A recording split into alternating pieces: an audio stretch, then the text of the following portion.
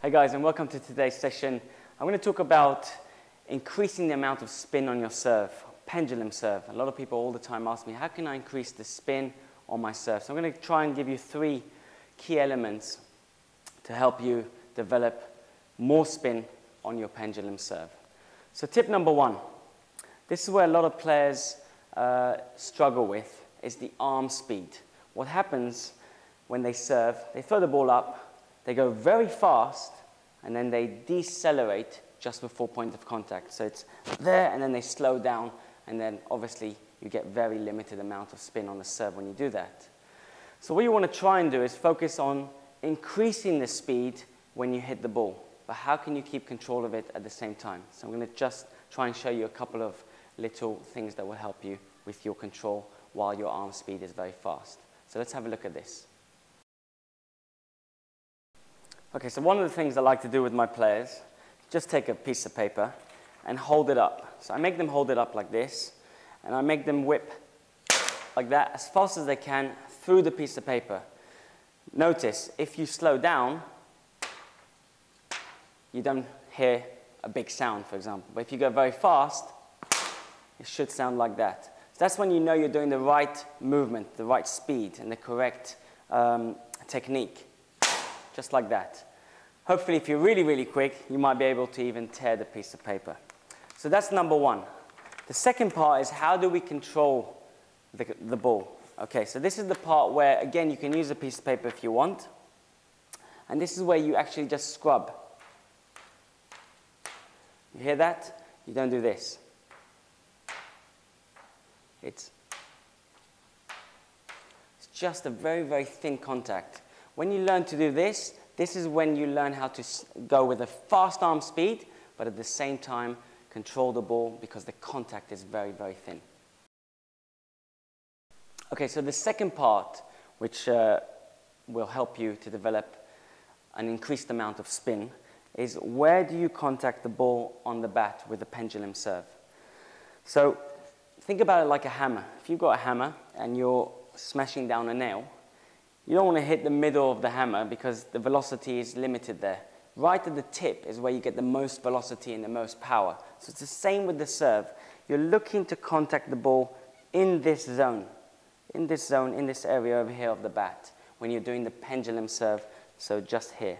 So you're going obviously as fast as you can, and then the contact should be in and around this, this zone over here. Hopefully in a slow motion, you will see that the ball does actually connect in this area.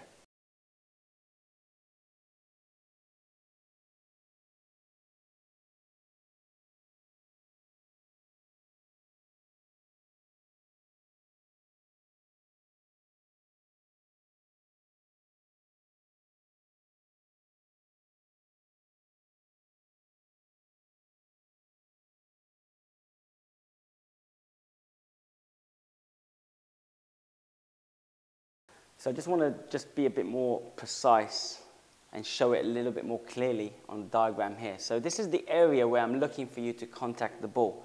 Hopefully in the slow-mo, I'm hoping that my contact was exactly where I'm saying. I mean, I have done slow-mos uh, of myself doing this serve in the past, and I did notice that I do hit it here. But of course, we're, we're all human beings, so you know, if you're going to hit the ball there or there, or slight different contact points, it's going to happen. But if we're talking about generating maximum spin, we're looking at contacting the ball in this area. So tip number three is all about the ball toss. Just like anything, if we can use the environment to help us, then that's great. So what we're doing here is we're throwing the ball a little bit higher.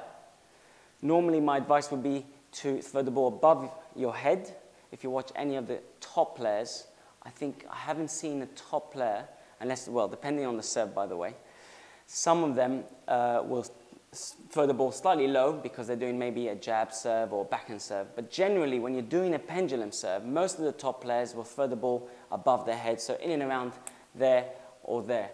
If they throw it lower, then the amount of spin is reduced. So what we're looking to do is throw the ball just a bit above our heads Obviously, if we throw it too high, we might lose control, depending on how much you practice, so it's down to you.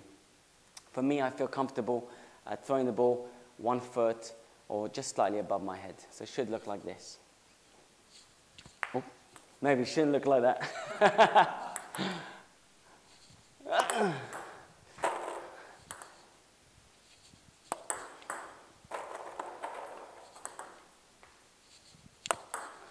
oh, that was loaded. So again, like I said, if we're going to use the environment to the, to the best of our abilities, in simple terms, if I throw the ball not so high, the ball as it's coming down has only got a certain amount of time to increase the speed. And as I throw it higher, it's got more time to come down, which means it's got more weight and energy on it, which I can use to uh, increase the amount of spin on my pendulum serve. So I drew this kind of diagram to try and help you out to make it easier for you to understand. But from, from my perspective, I'm always looking to take little nuggets to make whatever I have the best it can be. And this little thing can actually not only be to increase the amount of spin on your serve, but also to deceive your, your, your opponent. You can do three different kind of ball tosses. You can do a short ball toss, a, a medium ball toss, and a high ball toss, and do exactly the same movement, but you'll get a different amount of spin because of the velocity. So again, that's a nice little secret tip for you to, to use with your serve. Okay, so uh, I hope those three tips were, you find useful to yourself. And I almost guarantee that if you use those things with practice, with time, you will see that you will increase the amount of spin on your serve. So I just want to say a few things if you don't mind. Um, I'm going to come out with a service, a full service program called Serve to Win.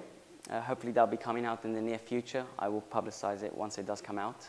And I want to give you also one extra little tip for increasing the amount of spin.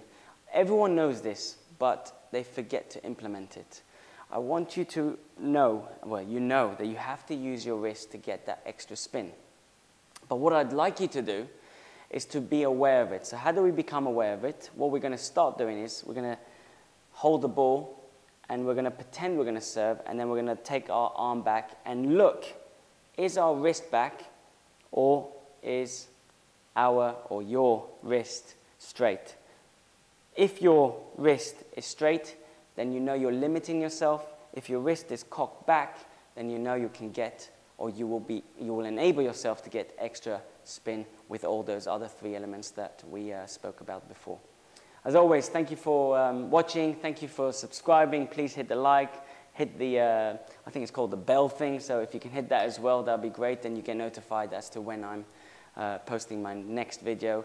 And please share as well. You know, I really want to continue building this. And with your help and with your table love, we can all grow together. See you next video. See you on the next video.